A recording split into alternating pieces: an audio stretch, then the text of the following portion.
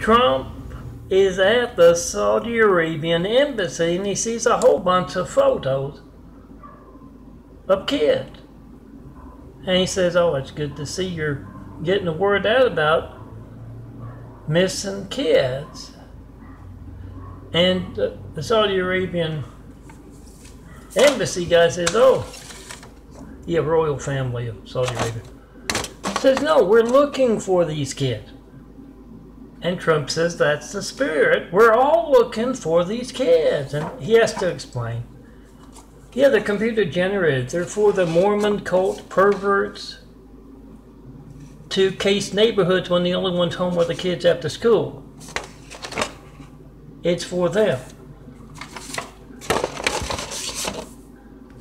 I'm Melton. Try to call me with all Mormons, all Muslims, all Chinese, all AT&T on speakerphone asking why you active part in America's high-tech lifelines, as well as, uh, yes, that.